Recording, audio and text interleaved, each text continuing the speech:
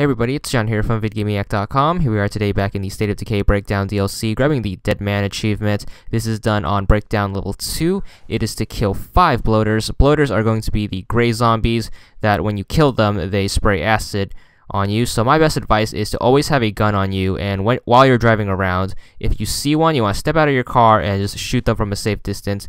That way the acid doesn't get you. You only need to kill five, so the hard part's pretty much just finding them.